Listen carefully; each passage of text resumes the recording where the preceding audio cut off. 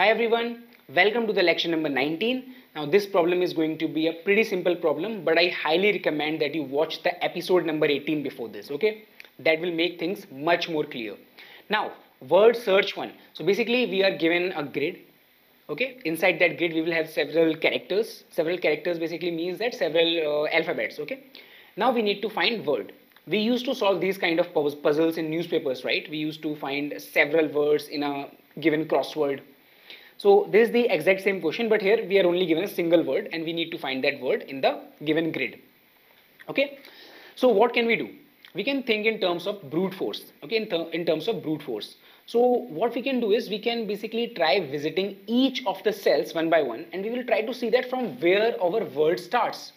So for example, for example, let us say, uh, yeah, let us go to the coding part and let us say this is the given grid. Okay, it is having several uh, characters, several alphabets there. Now we need to find design, D-E-S-I-G-N. Design is the word that we want to figure out. So first of all, I will start my search from D. I will go to the cell which contains D because I want to search design. Okay. So I will go to D. Alright. So I will start from 0 comma 0. This is not D. This is also not D. This M is also not D. H is not also not D. This is D equal to D. Okay. So I will start my search from this point. Okay. Then what I will do is I will, because I'm able to match the first character, right? Now I will ask recursion to match rest of the characters. From E, S, I, G, N, I will ask recursion to handle it. Okay? And in what all directions I will ask recursion to handle it? Again in these in those four directions. Because in the question it is given that we can only solve this crossword in the horizontal and the vertical directions. We cannot go diagonally. So that's why uh, we will be going to the horizontal and to the vertical direction. So that basically means that the four directions. So once I spotted the first character that is D, I will ask recursion to handle rest of the task. Basically, so I will ask recursion to go in all these four directions and try to find out ESIGN. Okay, ESIGN. Alright, so that's what I will be doing. Now, one more very important thing over here is, so I think that we should discuss once we start coding this. Okay, so let us start coding this. Uh, first of all, I will, first of all, I will create uh, first of all I will go to all these cells one by one. I is equal to 0 i is smaller than n i plus plus. For int j is equal to 0 j is smaller than m j plus plus going to each of the cell. If if board of i comma j if it is equal to equal to the first character word of 0 then only I will start the search from here okay I will start the search from here. I will name this function as search and uh, search I will create as a recursive function search. It will take int i, int j, int n, int m, vector of int and the word. Okay. Uh, int m vector of int and the word alright I think this is it. Okay great. Now first of all again the same base condition that we should not cross the boundaries. So if i becomes negative or or if j becomes negative or or if i becomes n or or j becomes m we are trying to cross the boundary, right? Or, or, or, or, just in case we are not crossing the boundary, we are still on a, uh, let's say a valid cell, but the character B-O-A-R-D, B-O-A-R-D of i comma j, this will denote the current character, right? If it is not equal to the required character, not equal to the required character, what is the required character? The required character is, I have to take another integer k. This will denote the required character. So word of k okay it is the required character. Alright so if board of i comma j is not equal to the required character in all these cases for uh, the first four cases are if you are crossing the boundary uh, then the next case is if the current character which I am currently standing on is not equal to the required character then return. And return false. Okay return false from here.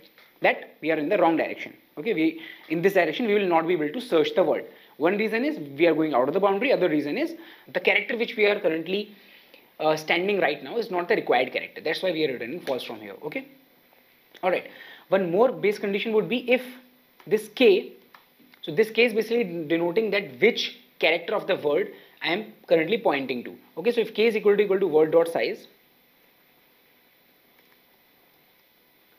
word dot size. So in this case, I reached till the end of the word. Basically, I discovered the entire word. I basically found the entire word. So I will return true from here. Okay. K is equal to size basically means that I have found all the characters. Okay, in this word, and now I am uh, I am at I am pointing at word dot size. So it will return true from here. Okay.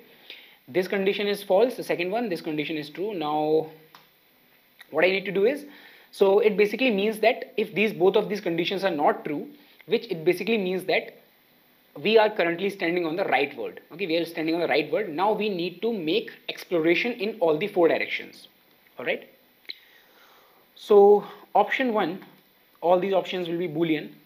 Bool option one will be to search the remaining word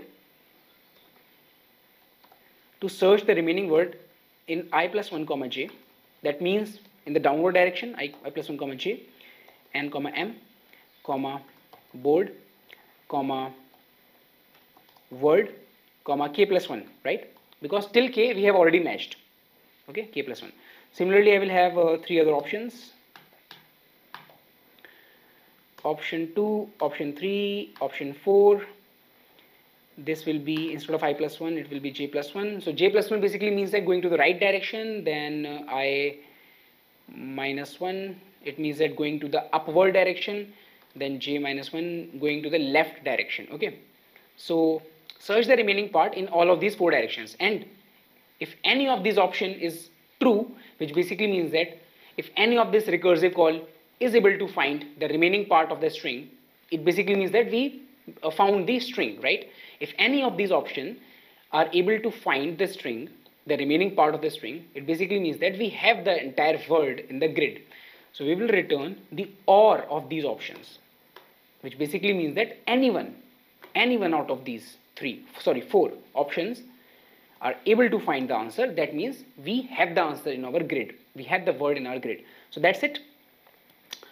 One more thing that I should basically uh, think of is, let's say let's say I'm searching the word DQD, okay, and DQD, I don't know if this kind of word exists or not, but for the example, we say, we just uh, assume that we are searching DQD.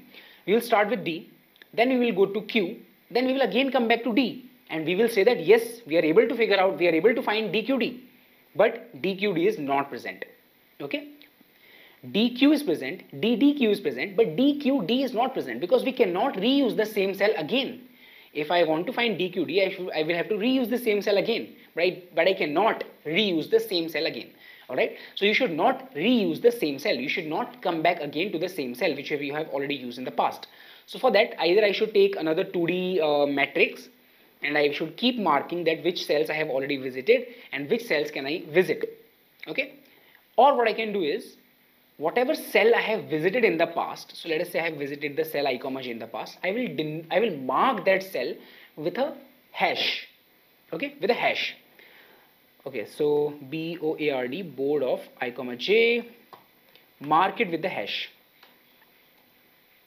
After marking it with the hash, uh, we will basically denote that yes, this we have already discovered and we do not want to rediscover it again, right? we don't want to go back to this particular cell again. Okay? One more thing. I should I should not disturb anything on the board right? I should not change the board. So I should undo this change. But if I want to undo this first of all I need to keep track that what was actually there at this place okay? What was that character? So board of i comma j we already know what that character was actually. That character was equal to word of k right? Word of k. So I should not okay no need to uh, just keep another character. What I was actually doing is I was doing like this. So I was creating this ch as a temporary character. Then I would have done this. Then I would have repasted c here. This is what sorry ch over here. This is what I would have done okay so I think this should work but instead of that I can simply re uh, I can simply use word of k because word of k is the uh, current character right? I can use that as well. Okay? So if search of i comma j comma n comma m comma board comma word comma 0 if this search like if we are able to find this return true. Okay now even after going to all these cells if we are not able to find it if any of the time we are not able to return true which basically means that I should return false at the end. Okay let me quickly run this. Yes it is giving me correct answer. It is a correct solution. Now talking about the space complexity and the time complexity. First of all uh, I am running a double for loop here. So I am going to each of the indices one by one okay each of the indices one by one which basically makes it n cross m.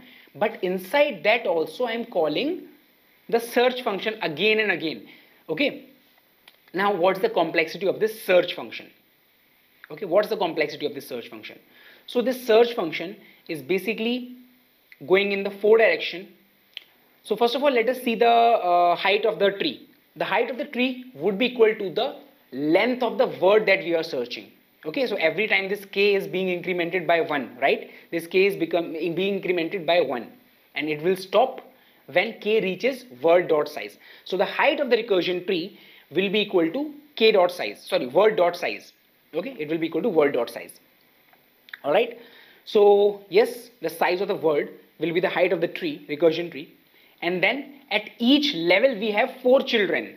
We already saw several recursion trees right? Let us now go to the board. It is very important so look here.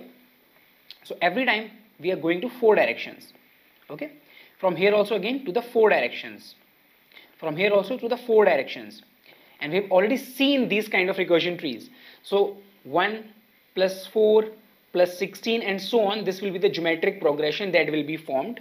Okay. So at this level we have only one node. At this level we have four nodes. At this level we have 16 nodes. At the later on level we have 64 nodes and so on. Okay. So this will be a geometric progression where the common ratio is uh, 4. So yeah, and the total height of the tree is equal to k. Let us denote the height of the tree by k. Height of the tree is equal to k. And so there are k number of terms of this geometric progression. If you try to use that formula, right, that formula is basically uh, r raised to the power n minus 1 divided by r minus 1 into a. a is simply 1. a is simply 1 over here. The first term is a, is 1. So r is 4 raised to the power k this n is equal to k k number of terms n is equal to k minus 1 divided by 4 minus 1 that is 3 so 4 raised to the power k roughly 4 raised to the power k roughly is the number of nodes in the tree. Okay? Height of the tree is k. This is space. Number of nodes 4 raised to the power k. Time. Time complexity of this recursive function. Now how many times we are calling this recursive function? M cross n number of times. Okay m cross n number of times in the worst case m cross n number of times. So m cross n multi m cross n multiplied by 4 raised to the power k. This is the overall time complexity. It is very huge. Okay it's very huge. So this is the time complexity this is the space complexity. I hope you are able to understand that how does this recursion work it is same as the previous problem. The previous one, the flood fill algorithm, you can go and revisit it again. Try to solve both these questions by yourself. These were the grid questions, okay? These are very important, although these were the graph questions, but I uh, thought that we should cover them in the recursion itself because these are very recursive in nature and these are simple as well, alright? Let us meet in the next episode. Bye bye, take care. Make sure to like the video, make sure to subscribe to the channel if you are new here. I hope you are understanding everything. Bye bye.